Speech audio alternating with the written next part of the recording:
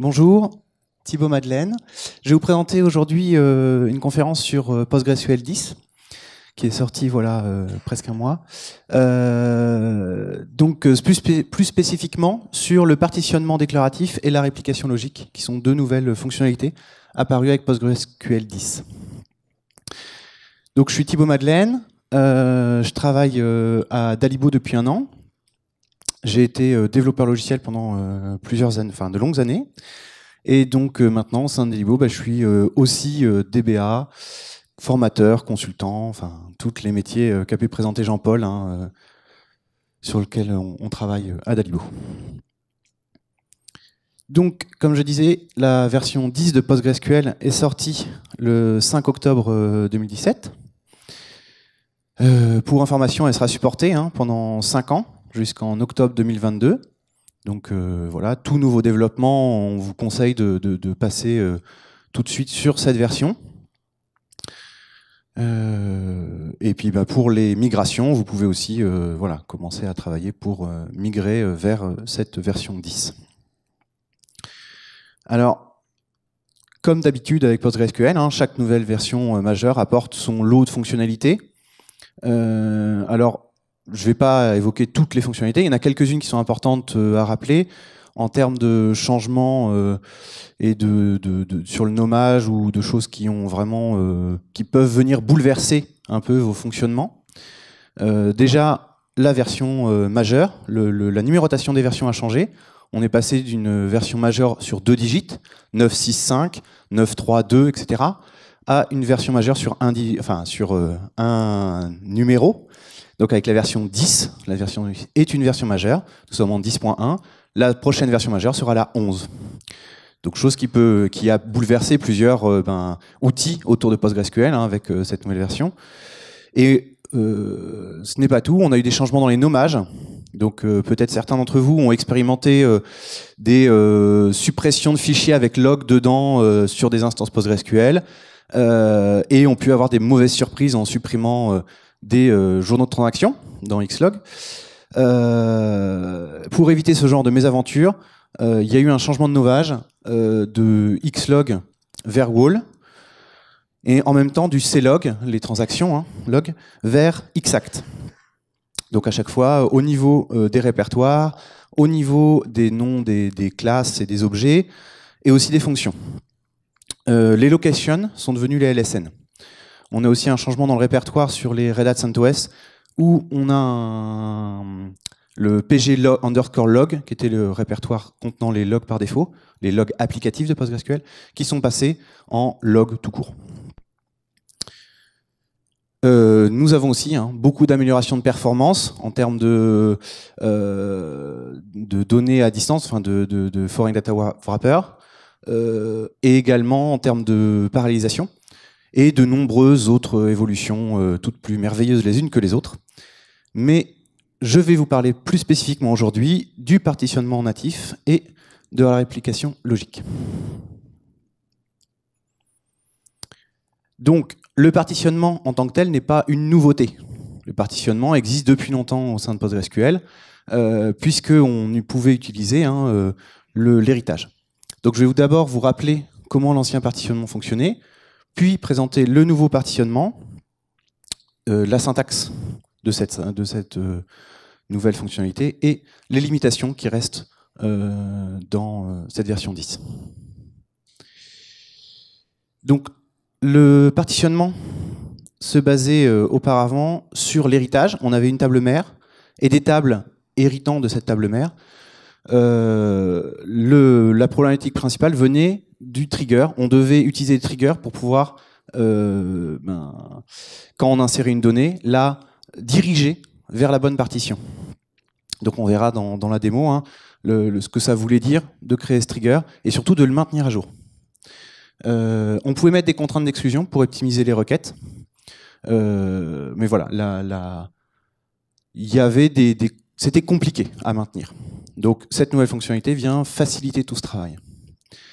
Euh, donc, comme je disais, des une maintenance assez fastidieuse en termes de création euh, de nouvelles partitions, en termes de détachement des anciennes, en termes de gestion des triggers, etc. Et les performances, évidemment, étaient moins bonnes à cause du trigger. Nous avions une autre limitation qui était l'absence de, euh, clés possibles de mettre sur les tables mères et tables filles. On ne pouvait pas mettre une clé globale sur les tables mères et tables filles.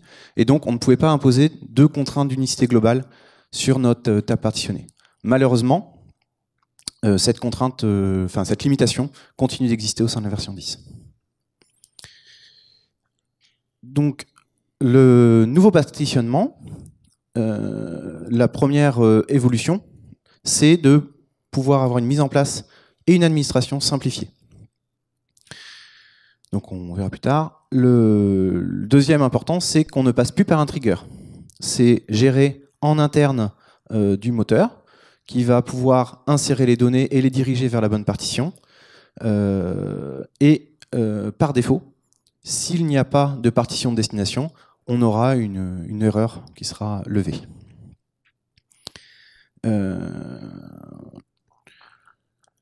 Évidemment, pour pouvoir stocker ces nouvelles informations, il y a eu des évolutions dans les tables système, donc des nouvelles colonnes dans PG Class et un nouveau euh, catalogue, PG Partition Table, qui vient lister les tables euh, partitionnées, si elles sont mères ou filles, partitionnées, donc euh, P pour partitionner et R pour ordinaire, dans PG Class.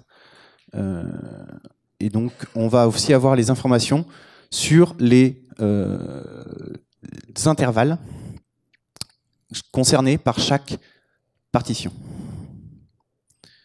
Les nouveaux ordres SQL qui ont été euh, liés à cette euh, nouvelle fonctionnalité permettent soit donc d'attacher ou détacher en une commande une partition à la table partitionnée, une nouvelle partition. il y a une contrainte implicite qui est créée lors de la déclaration. On peut évidemment euh, avoir des expressions euh, pour la clé de partitionnement. Hein. On n'est pas forcé de passer par une constante ou autre. Et on peut venir sous-partitionner une partition. On peut venir Donc en termes d'architecture, il y a beaucoup de choses possibles de faire. Voici, donc on a pour l'instant deux types de partitionnement possibles. Le premier, c'est le partitionnement par liste. Euh, on va venir créer donc ici, nous sommes sur la table mère, la table partitionnée qui est euh, euh, créée en une ligne, en ajoutant le partition by. On va indiquer le type de partitionnement qui est par liste, puis la colonne sur laquelle notre partitionnement va s'effectuer. Pour ajouter une partition, on va venir déclarer notre table en indiquant qu'il est une partition de cette table partitionnée et qu'elle devra recevoir toutes les euh, insertions avec la valeur de C1 égale à 1, 2 ou 3. Voilà. Tout se créera en arrière-plan pour venir insérer dans la bonne table. Il est possible de détacher la table pour qu'elle devienne indépendante de la table partitionnée. Euh, ce qui peut nous permettre de la détruire, par exemple, si on est sur des partitions où on va avoir des données anciennes qu'on ne veut plus conserver. On va pouvoir faire un backup de cette table, puis la supprimer euh, de notre instance. On, peut aussi attacher une partition, soit une partition qu'on a auparavant détachée, soit attacher une partition qu'on a créée euh, indépendamment. Évidemment, il y aura de nombreuses contraintes hein, sur le. Il faut que cette partition qu'on attache ait le même nombre de colonnes avec les mêmes types, avec des contraintes non nulles, avec voilà. Enfin, on a une liste de limitations, mais euh, c'est possible de le faire aussi. Donc je parlais de ce premier type de partitionnement qui était par liste. On a un deuxième type qui est par intervalle. On va venir de la même façon hein, créer une table en indiquant que le partitionnement se fera par intervalle, range, sur la même colonne C1. Et on viendra indiquer pour la création de partition les valeurs en indiquant cette fois-ci un intervalle. Et il est possible de détacher cette partition. Pour les partitions par intervalle, il est possible de venir indiquer plusieurs colonnes pour le partitionnement. Donc on a un exemple ici. Donc ça ne fonctionne pas pour les partitions par liste.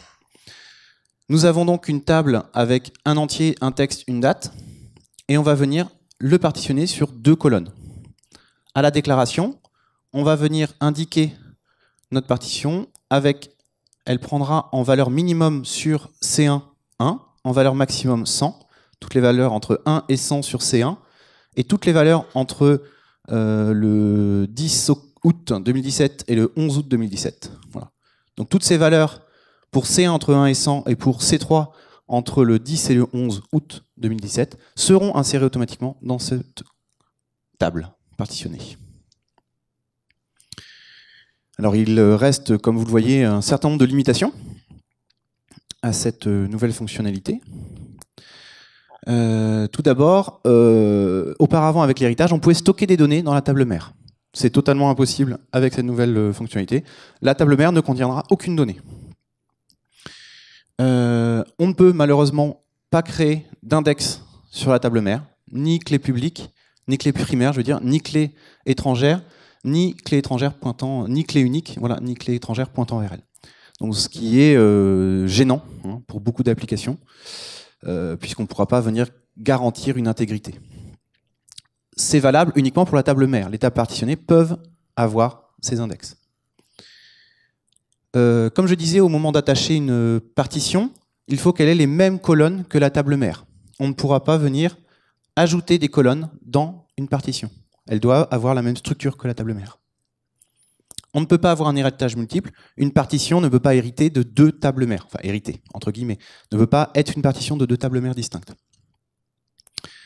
Euh, on ne peut pas avoir une, valeur nulle dans les partitions euh, si la table partitionnée mère ne le permet pas.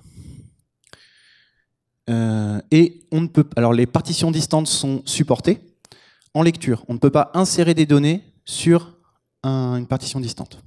Donc on va être plutôt sur un cas où on détachera une partition locale, migrera les données euh, à l'extérieur hein, de, cette fonctionnalité et on reviendra rattacher. Dans la version 11, on a eu un commit avec une nouvelle méthode de partitionnement par clé de hachage. On en reparlera sûrement l'année prochaine. Alors, on va essayer de venir voir ce que le fonctionnement en version 9.6 euh, et en version 10. Alors, on espère que l'effet euh, fonctionnera. Nous devrions avoir un gain de performance.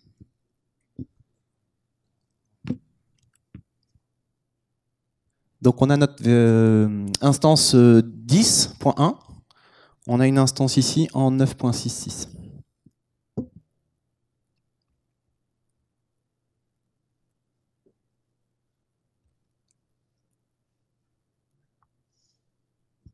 on va créer une table météo avec euh, un ID serial, euh, le lieu, une heure de mesure et une température.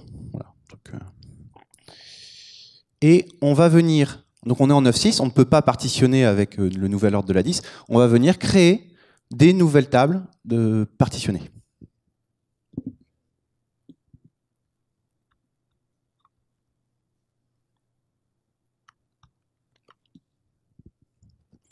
Donc comme on voit, il n'y a aucune différence dans la définition de la table par rapport à une table traditionnelle. La différence est ici, on vient hériter de notre table mère. Et on va rajouter une euh, contrainte pour être certain qu'aucune donnée euh, non voulue se glisse dans cette table partitionnée. On va venir le faire. Donc on est sur les mois de euh, septembre et octobre dans les villes de Lyon, Nantes et Paris.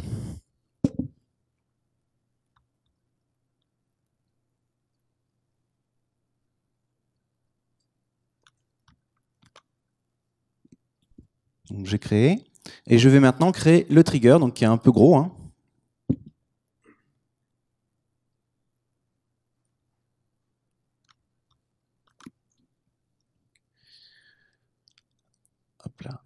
Donc la déclaration d'étape n'était pas si fastidieuse que ça. On a une, par contre, voilà, si on veut être certain de ne pas avoir d'erreur d'insertion, on va avoir ce type de trigger où on va venir valider et contrôler exactement les valeurs insérées pour pouvoir les insérer dans les bonnes euh, colonnes. À chaque fois qu'on va créer une nouvelle partition, il faudra mettre à jour ce trigger. Et évidemment, une erreur peut avoir des conséquences assez euh, désastreuses. Donc voilà le trigger, et enfin voilà la fonction de trigger, on va ajouter le trigger.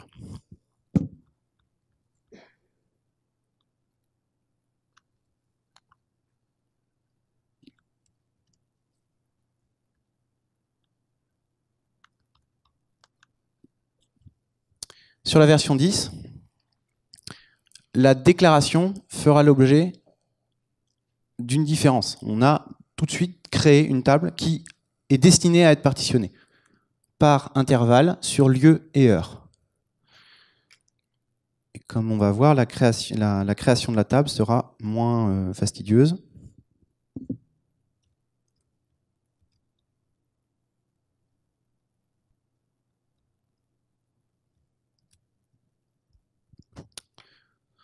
On vient ici créer notre table, partition de météo, avec nos deux intervalles, en multicolonne. Et on va le faire pour les autres tables.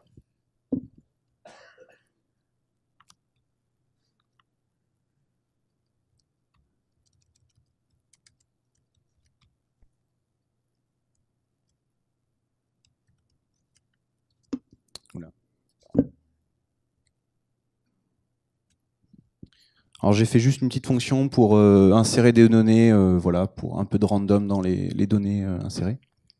Et donc je vais tenter de venir insérer, donc si on regarde, on a voilà, 300 000 insertions dans la table.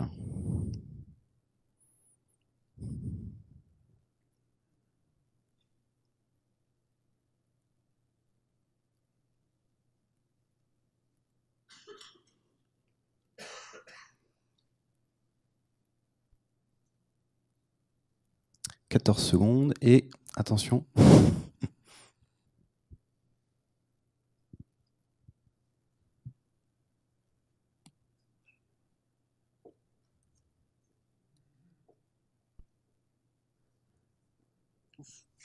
C'est bon. Je l'avais fait hier, ça marchait pas. Voilà, normal. Mais je préfère que ce soit hier que tout de suite. Donc voilà, on a gagné euh, du temps. Euh, alors les temps, hein, ça dépend vraiment des applications. On peut aller jusqu'à du 20%, 25% de gain de temps. Enfin voilà, il faut vraiment tester. Mais euh, on a non seulement un, on a vu, hein, la déclaration est beaucoup plus simple, mais aussi aux insertions, on a vraiment un effet en gain de temps.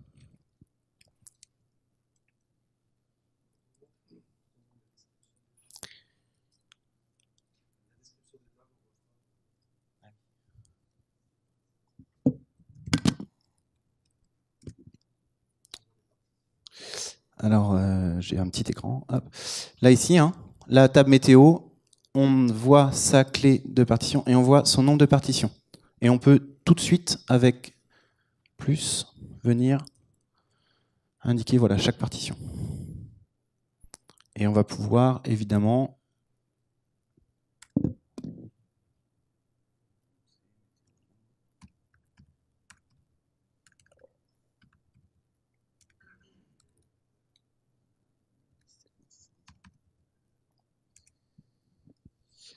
et y compris voilà, pour état partitionné, on saura de quelle partition elle dépend, avec quel check. Euh, donc voilà, on a un gain de temps. On va maintenant étudier un peu les limitations de cette nouvelle implémentation, donc en version 10, en essayant par exemple d'insérer une donnée. Je vais venir insérer une donnée hors intervalle. Donc je viens indiquer 1978, euh, il n'y avait pas de, table partitionnée pouvant accepter cette donnée. Et donc voilà, évidemment, euh, l'insertion échoue. Alors, ça va me permettre de vous faire voir une fonctionnalité liée aux intervalles. Si je retrouve mon pointeur. Il est possible de venir utiliser avec le mot-clé min value, max value, euh, des intervalles ben, inférieur strict, c'est-à-dire qu'on va pouvoir venir insérer toutes les données inférieures pour, pour évidemment la, ville de Lyon entre infini et le 1er septembre 2017. On va pouvoir venir déclarer cette nouvelle table qui viendra prendre en fait hein, nos anciennes euh, insertions.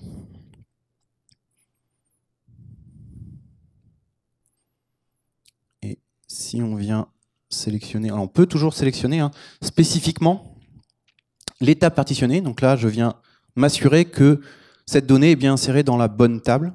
Voilà, ça fonctionne.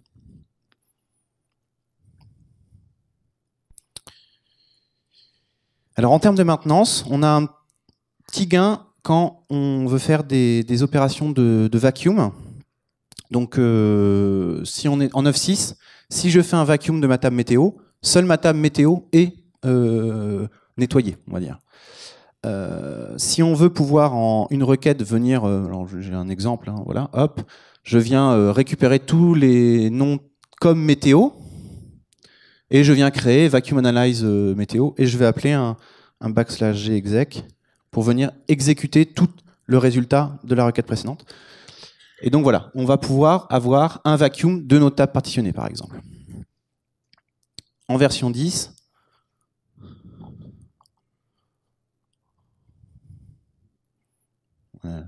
le pointeur, il est là.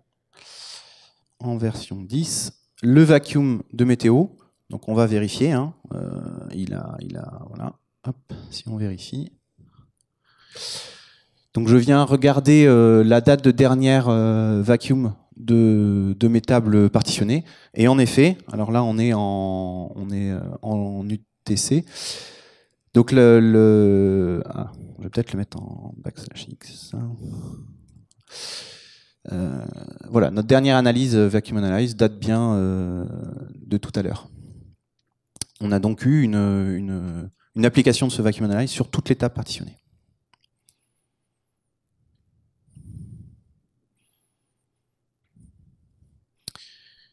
Donc voilà. Petit gain. Euh, la création, les limitations. Voilà, les limitations hein, sur la création d'index, euh, sur la mise à jour et sur l'insertion de données hors limite. Euh, je ne vous ai pas fait la création d'index, on verra plus tard. Ou pas. C'est pas très grave. Bon, tant pis. La création d'index hein, sur la table mère va échouer. Je vais maintenant vous parler de la réplication logique. Euh, tout d'abord, euh, la réplication physique hein, est une notion ancienne en, PostgreSQL. Euh, donc je vais vous rappeler un peu comment fonctionne la réplication physique et ses limitations et un peu le pourquoi de, de, ce besoin de réplication logique au sein de PostgreSQL, le fonctionnement de cette nouvelle réplication logique, les limitations et des exemples. rien sur la donc la réplication euh, physique fonctionne par euh, copie, quelque part, hein, au niveau binaire, de l'ensemble de l'instance. On ne peut pas avoir de finesse sur les données qu'on réplique.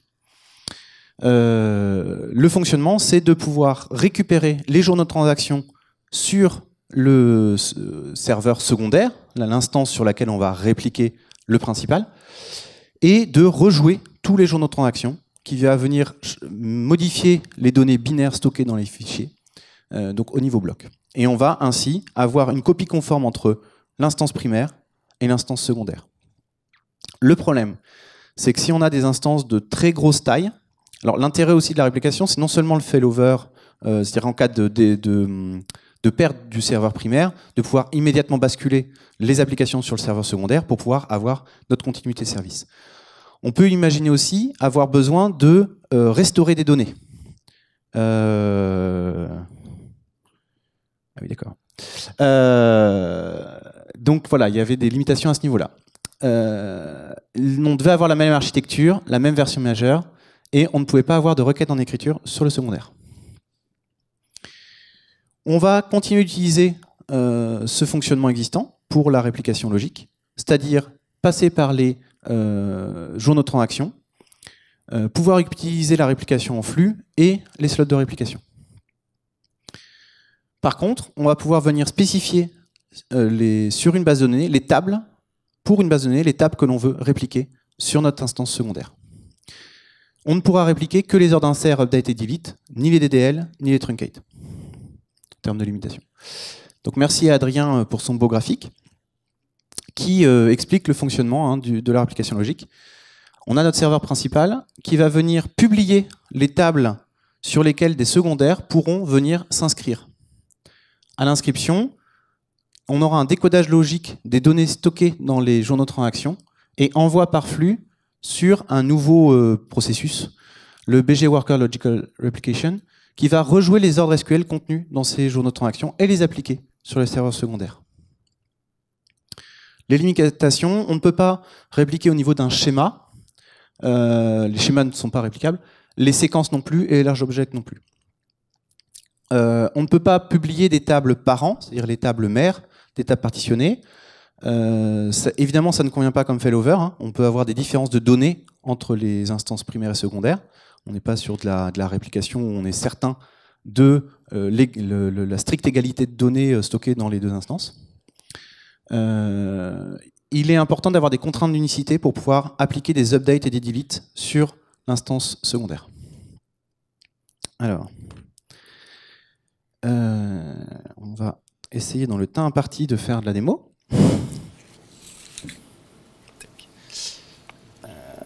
alors, ah.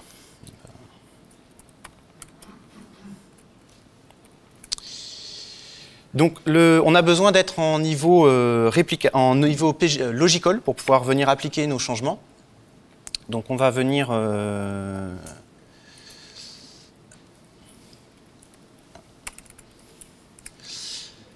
voilà, modifier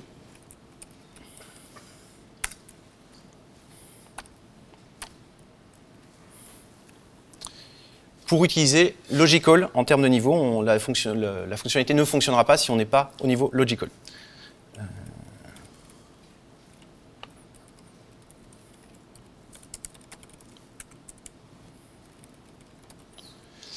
On va venir redémarrer notre instance.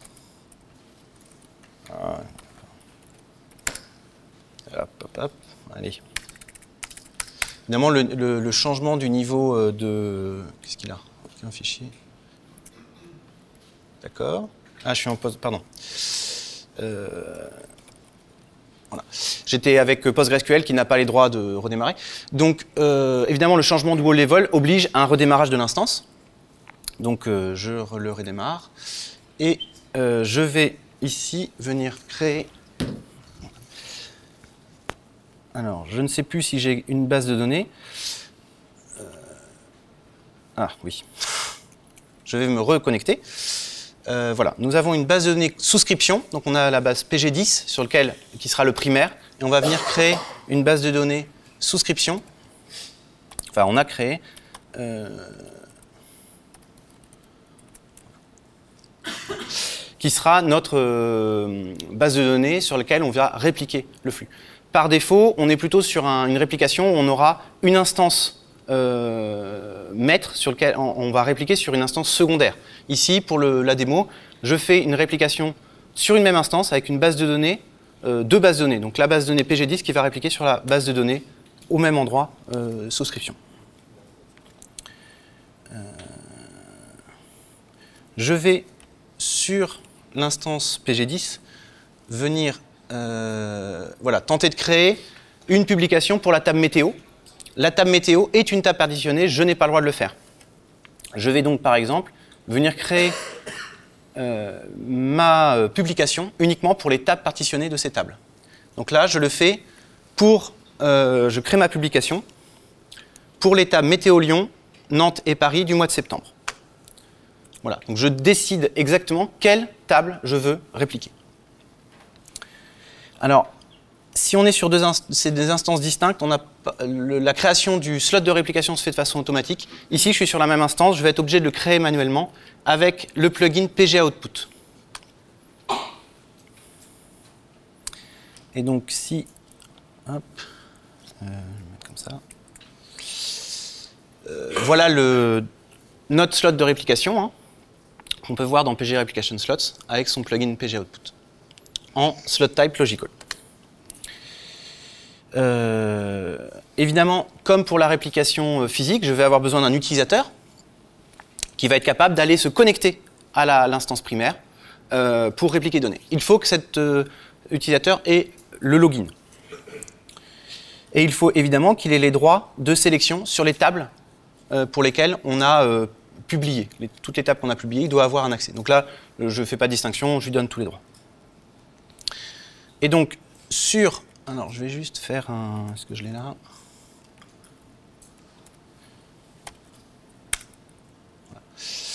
Donc, je récupère les logs PostgreSQL pour la suite. je vais me mettre sur la souscription et je vais venir créer mes tables. Évidemment, on a vu, hein, les DDL ne sont pas répliqués, je suis obligé de venir créer ma table météo et je vais être obligé de créer les tables euh, pour lesquelles une publication a été faite. Et je vais pouvoir ensuite créer ma ah, je suis où? Je suis là. Ma souscription. Donc je crée ma souscription en lui indiquant les informations de connexion à notre instance primaire et en indiquant quel slot de réplication il faut utiliser. Si on se tourne dans les logs, voilà. Logical Replication Table Synchronization Worker for Subscription. Donc là, il a terminé de venir répliquer toutes les données présentes dans la table sur le principal, météo Paris 2017-2009, Nantes et Lyon. Donc on va pouvoir venir regarder euh, s'il y a des données. Donc si par exemple on se met sur la souscription, euh, on voit la donnée présente. Si par exemple je viens supprimer une ligne sur mon serveur secondaire, cette donnée n'est évidemment plus présente sur mon serveur secondaire, ce qui veut dire que j'ai droit d'écriture hein, sur mon instance, sur, mon serveur secondaire. Et cette donnée est encore présente côté euh, instance primaire.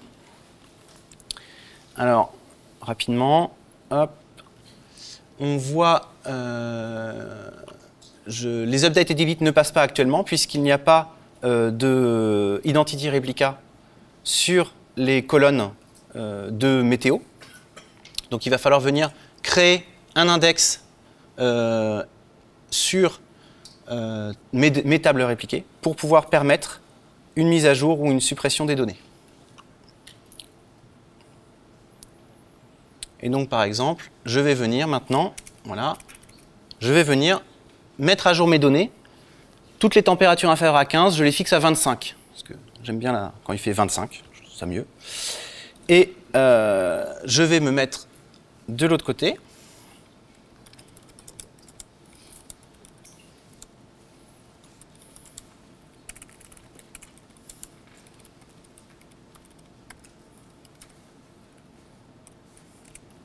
Alors j'en... Oui, c'est... Alors, j'ai que 29 valeurs sur ma souscription pour lesquelles la température est 25, alors que j'ai eu 185 000 valeurs euh, mises à jour. Alors, on va aller voir dans les logs et on se rend compte ici qu'on a juste oublié une chose, c'est qu'on a fait des ordres DDL sur le principal et on ne les a pas répliqués. Enfin, on ne les a pas appliqués sur le serveur secondaire. Ce qui nous oblige du coup à venir penser à faire toutes nos DDL hein, sur le secondaire. Donc je me remets sur le secondaire je viens créer mes mêmes index dessus. Et donc là, on avait des erreurs et ça va se remettre en fonctionnement. Je viens donc sélectionner maintenant que j'ai créé les DDL. Voilà. A. Donc là, on est typiquement hein, dans le cas d'une perte d'informations. on a toutes les informations qu'on a reçues euh, du maître lorsqu'on ne pouvait pas répliquer à cause de notre oubli DDL ont été perdues. Nos ordres sont perdus. Euh, par contre, ce qui est assez amusant, c'est que si je viens réappliquer mon ordre, donc ici, hein, si je fais, euh, voilà, j'ai aucune température inférieure à, 15. Hein. Je viens remettre à jour, j'ai zéro valeur. Et si du coup, je viens relire ici, on a, on a euh, les valeurs qui ont été remises à jour.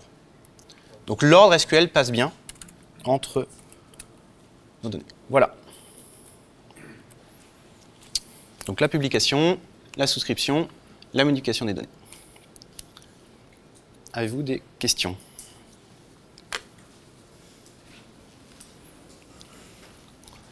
Euh, il y a le micro. On va attendre le micro. Euh, moi, j'ai une question sur euh, le partitionnement. vous avez dit qu'on pouvait rattacher des partitions et les détacher.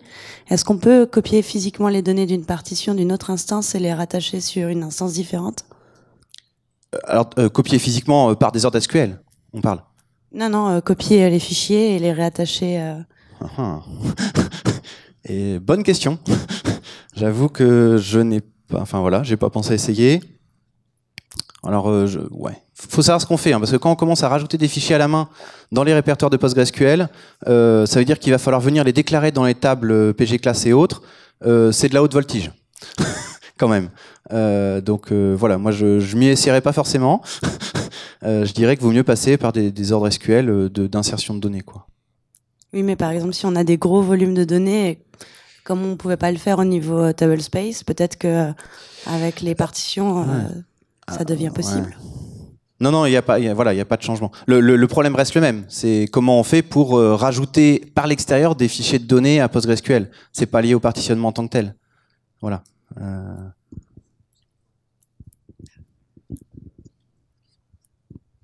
Bonjour. Euh, J'avais une question à propos en fait du chargeur copie. Euh, Est-ce que ça marche bien avec les partitions? La- la- Le chargeur copie, copie, la commande copie. Pour charger Oui, une table. oui. Ah là oui, oui, il n'y a aucun souci. ça, voilà, c'est transparent. Le copie euh, vient insérer des données dans la table mère et ces données sont dirigées en interne du moteur vers les bonnes partitions. Ça fonctionnait déjà avec l'héritage et évidemment ça fonctionne euh, avec la, la version 10. Tout à fait. Alors on avait une question là. Bah vas-y euh, à haute voix. Bonjour. Bonjour. Est-ce que vous avez pu comparer avec euh, PG Passman de Alexander Kovkov Alors excusez-moi, j'ai pas entendu le début. Est-ce que vous avez pu euh, comparer avec le, le mécanisme de partitionnement de PG Passman Alors de euh, Alexander? Alors non, je n'ai euh, pas euh, vérifié euh, des différents, enfin les différences.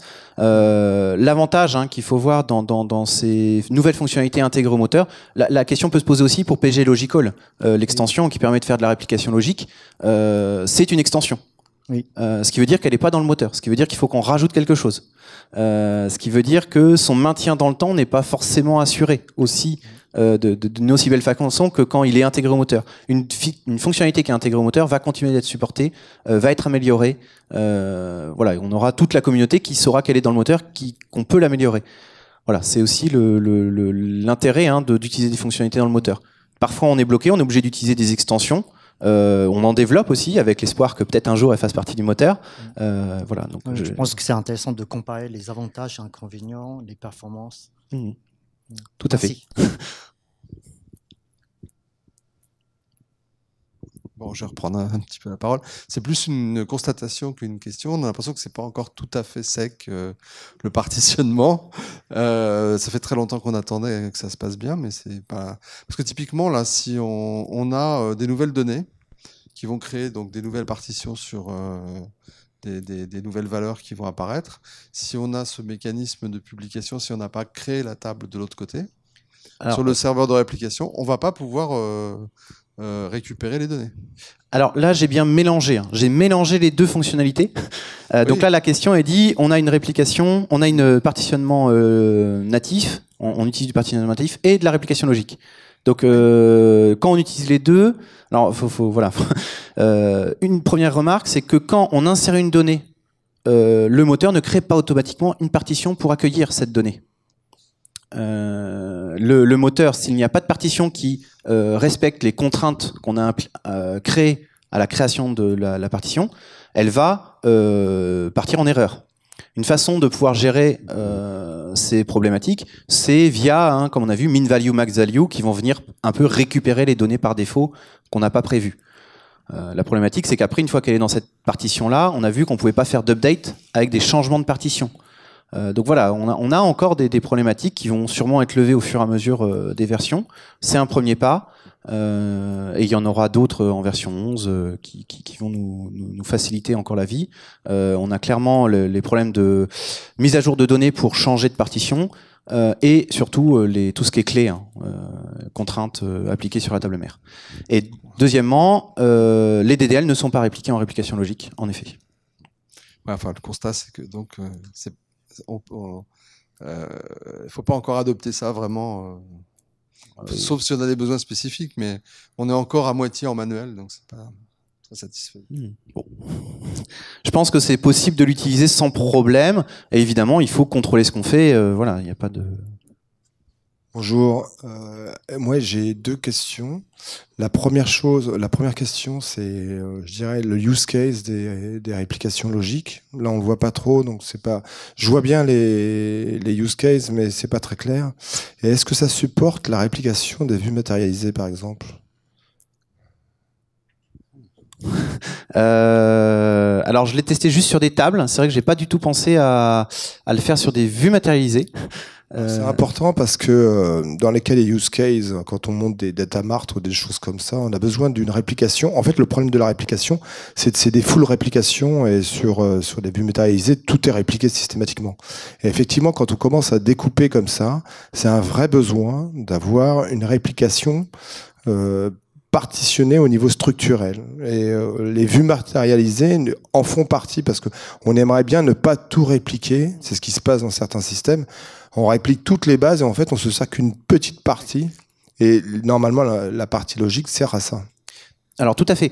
Le, use case hein, euh, qu'on peut voir assez facilement pour les réplications logiques sont les besoins d'avoir un serveur principal qui va venir euh, être utilisé par des applications qui vont venir utiliser les données au jour le jour, les manipuler. Et on va par exemple avoir besoin d'avoir un serveur euh, secondaire sur lequel on fera des requêtes beaucoup plus lourdes, des requêtes euh, de type OLAP où on va venir euh, agréger des données pour calculer des statistiques. on veut pas, à cause de nos requêtes longues, venir bloquer notre serveur principal. et on va pouvoir utiliser du coup ce serveur secondaire. Et auparavant, on était obligé en fait de venir répliquer l'intégralité de l'instance. Actuellement, on va pouvoir choisir exactement les tables nécessaires pour venir euh, à répliquer. Donc une fois que c'est en place, la réplication est automatique. Toutes les données changées dans le principal vont euh, s'appliquer sur le secondaire.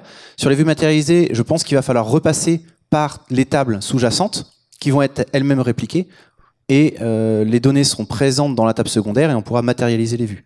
Je, alors je me tourne vers quelqu'un qui peut savoir cette info. Est-ce qu'on peut, dans les publications, mettre une vue matérialisée? Je ne l'ai pas vu, donc je pense que ça n'existe pas. voilà. Euh, alors, on, est d'accord. Il y a une mise à jour dans, dans le primaire. Il faudra qu'effectivement cette mise à jour de cette vue matérialisée soit dans le même check que celle, que du primaire. Donc là, c'est des questions. Euh, enfin, c'est une question. Alors, je, je pense que euh, au fur et à mesure des versions, on va peut-être avoir des fonctionnalités pour pouvoir répliquer certains DDL, choisir quel DDL. Pour l'instant, non. Voilà. Pour l'instant, il faut bien penser à, à, à, reporter ces modifications DDL sur les, les, les secondaires.